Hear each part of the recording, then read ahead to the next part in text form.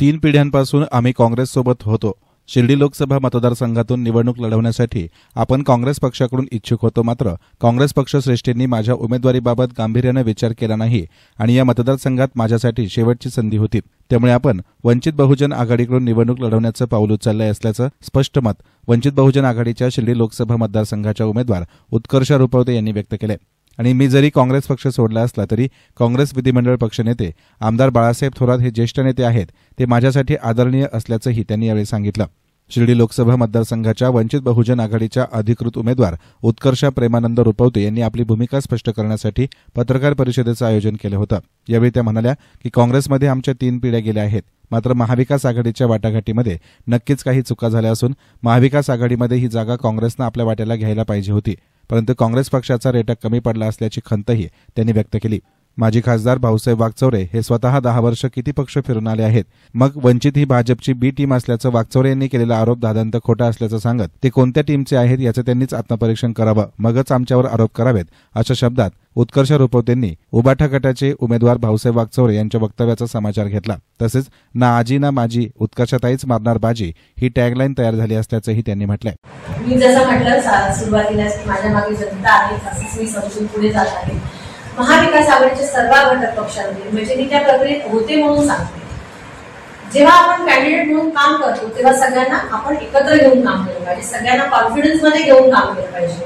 निवडणूक सुरू व्हायच्या आधीच जर वागचौरे साहेब दहा ठिकाणी फिरताना हे म्हणतात की काँग्रेसचं अस्तित्वच नाही मतदारसंघात अशी स्टेटमेंट आहे त्यांची. तुम्ही पत्रकारांनी बघितलं असेल छापलेलं असेल. तर मग त्या पक्षाच्या लोकांनी तुमच्यावर कसं काम करायचं हा पहिला होता. तुम्ही जेव्हा त्या पक्षामध्ये किंवा त्या आघाडीमध्ये एवढ्या सगळ्या पक्षांच्या सोबत काम करत असाल तर तुम्ही सगळ्यांना कॉन्फिडन्समध्ये घेतलं पाहिजे. आणि सगळ्यांना तर सोडा तुम्ही स्वतःच्या पक्षाच्या लोकांना कॉन्फिडन्समध्ये घेतलं पाहिजे असं मला वाटतं. त्यांच्या मिटिंगमध्ये काय होतंय चप्पल फेक होते गाडीवर होते ती स्वतः पत्रकार दाखवते त्यामुळे कोणाचंही ते हे करण्यापेक्षा कॅन्डिडेट म्हणून आपण सगळ्यांना टीम वर्कनी घेतलं पाहिजे हा माझं प्रामाणिक मोठा वर्ग फक्त आपल्या मतदारसंघातील पूर्ण महाराष्ट्रात. त्यामुळे ते काय निर्णय घेतात किंवा ते कोणाला सपोर्ट करतात जसं तुम्ही म्हटलं की ते अपक्ष आहेत त्यामुळे तो त्यांचा प्रश्न आहे. पण निश्चितच मला मी जसं म्हटलं की मी सगळ्यांनाच अप्रोच करणार आहे की माझी शेवटची संधी होती राजकीय. यापुढे जर डिलिमिटेशन तर आम्हाला इथे संधी नाही लोकसभेसाठी. त्यामुळे मला ज्यांना ज्यांना भेटून शक्य आहे दादाला पण मला भेटायला तर मी नक्की त्यांना ते सांगणार की तुम्ही ते करायचं त्यांचा निर्णय. घटकासाठी. म्हणजे ओबीसी असो एस सी असो मराठा समाज असो एनटी असो बीजेएनटी सगळ्यांसाठी ऍटलीस्ट उल्लेख केला गेलाय. आणि त्यातल्या त्यात खूप क्रांतिकारी गोष्ट आहे. कारण ते जर झालं नाही तर आपण सगळं सर्वसमावेशक आहोत हे म्हणण्याचा अधिकार तर राहत नाही. तो पहिला मुद्दा अं, जाहीरनाम्याबद्दलचा दुसरा जो विषय आहे तो म्हणजे अं, वारंवार असं म्हटलं जातं की उमेदवारी जाहीर करताना बाजूला जात लिहितात पण आज महाराष्ट्रासारखा देशाचं राजकारण बघा जातीशिवाय कुठली निवडणूक होते किंवा जातीच्या समीकरणाशिवाय कुठली निवडणूक पार पडते एवढाच फरक आहे. बाकी पक्ष छुपा करतायत आणि प्रकाश आंबेडकर साहेब स्वतः जात लिहून सांगतात की हो बाबा आम्ही या जातीचा त्यामुळे कुठेतरी जे ते बोलत आहेत किंवा विचार करतायत ते त्यांच्या ऍक्शनमध्ये दिसते आणि मला जाहीरनाम्यामध्ये दिसलेलं आहे. जर सत्ता आली तर त्या गोष्टी जर झाल्या तर हे सगळे समाज घटक त्याचे समा समावेशक एक जाहीरनामा आहे. असं म्हणजे ती- तीन पिढ्यांचं काँग्रेस इतिहास असेल. एखाद्याला पाडण्यासाठी किंवा एखाद्याची मतं खाण्यासाठी मी एवढा निर्णय घेईल का? हा प्रश्न सुज्ञ नागरिकांनी स्वतःच करावा. म्हणजे जर मला त्याच्यामध्ये काहीतरी पॉझिटिव्ह दिसत असेल तर मी हा निर्णय घेईन. पहिली गोष्ट. दुसरी गोष्ट म्हणजे एखादी निवडणूक तुम्ही जेव्हा लढता तेव्हा कोण माणूस हारण्यासाठी निवडणूक जे लढतो? ह्या निवडणुकीमध्ये आम्ही कॉन्फिडेंटली जिंकण्यासाठी उतरलेलो आहोत. त्यामुळे तो प्रश्न येत नाही की हा पडतो का तो पडतो मी जिंकणार आहे या कॉन्फिडन्सनी मी त्याच्यामध्ये आणि बी टीम वगैरे या गोष्टी आता ना खूप जुन्या झाल्या. आता नवीन काहीतरी विरोधकांनी शोधून घ्यावं. कोण कोणाची बी टीम आहे आता विरोधकांनी खरंच मला वाटतं स्वतःही विचार करावा. ज्या वंचित बहुजन आघाडीच्या सगळ्या नेत्यांनी सात ठिकाणी काँग्रेसला बिनशर्त पाठिंबा दिलाय. तो पाठिंबा काँग्रेसनी अजून दाखवलाय का? म्हटले तर नका देऊ नाही दिला. सुप्रियाताई सुळे बारामतीचं इलेक्शन हे बीजेपीनी नॅशनल अजेंडा बनवलाय. आज बीजेपीचा प्रत्येक मंत्री त्या मतदारसंघात तिथे जर वंचित बहुजन आघाडी सुप्रियाताईंना पाठिंबा देत असेल तर तुम्ही कुठल्या तोंडाने याला भाजपचे बीजेपी म्हणतात त्यामुळे आता हे पुराने फॉर्म्युले झाले काहीतरी नवीन शोधा की ज्यांनी पब्लिक पण थोडी इम्प्रेस होईल काही ठिकाणी चुका झाल्या असं म्हणायला अं, वावग नाही आणि काही तुम्ही काँग्रेस सोडताना काही तुम्हाला काही काही नाही रेझिग्नेशन दिलं आणि त्यांना माझी कारणाही सांगितली. माझी भूमिका काय आहे? माझी भूमिका स्पष्ट केली. साहेबांनी नक्कीच हे सांगितलं की करू नकोस काँग्रेसमध्ये चांगलं फ्युचर आहे. पण माझा निर्णय झालेला होता. बाळासाहेब थोरात सोडता कोणी तुम्हाला काही गोष्ट नाही. बाळासाहेब असं त्यांचं म्हणणं आहे की काही लोक खूप महत्वाकांक्षी असतात. त्यांना काँग्रेसमध्ये जो जनाधार होता तो वंचित मी त्यांच्याबद्दल वैयक्तिक एका ठिकाणी बिलकुल करू इच्छित नाही ते सिनियर आहे पण मी पक्ष संघटनेत गेली सतरा वर्ष स्वतः काम केलं. त्यांनी आत्ताच अध्यक्ष झाले त्यांना शुभेच्छा आहेत पण काँग्रेस पक्षात जनाधार आहे लोकांमध्ये जनाधार आहे समाजात आहे. हे निवडणुकीच्या निकालात कमी म्हणजे पक्ष बदलल्यामुळे तसं काही कमी होईल मला वाटत नाही. किंबहुना मला जो प्रतिसाद पक्ष बदलल्यानंतर मिळाला तो फार वेगळ्या पद्धतीचा आहे. आणि तो पॉझिटिव्हली निवडणुकीत दिसेल असं मला त्यांनीच एक टॅगलाईन बनवली. ना आजी ना माझी दोन हजार चोवीसमध्ये उत्कर्षाताई मागात बाजी.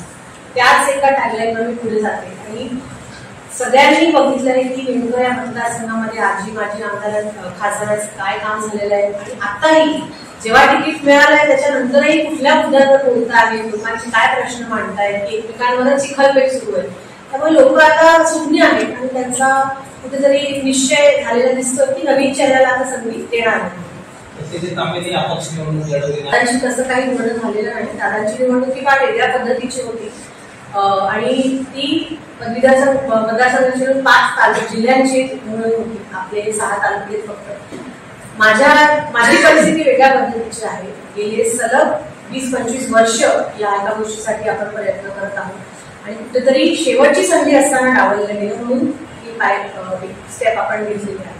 त्यामुळे दादांची त्या संदर्भात काही चर्चेमध्ये सांगितलं